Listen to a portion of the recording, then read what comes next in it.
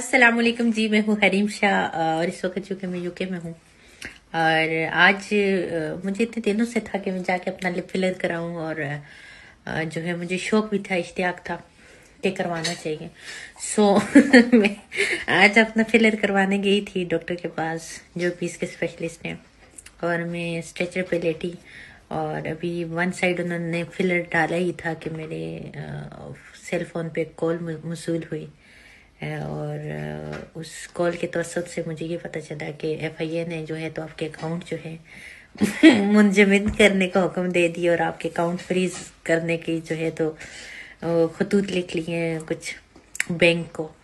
तो मैं काफ़ी मलाल में, रंज में एकदम से उठ गई और मुझे याद ही नहीं रहा। याद तो खैर था।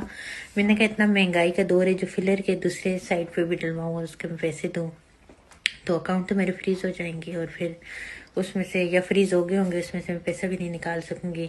तो मैं ऐसा करती हूँ, ये जो दूसरे साइड के फिलर के पैसे इनको बचा के तो कुछ थोड़े बहुत यूके के अंदर अपनी जेब खर्ची खर्ची करूँगी, क्योंकि ये नो, मैं यहाँ पे भूखी मर जाऊँ और मेरे पास खाने पीने के पैसे भी ना हो।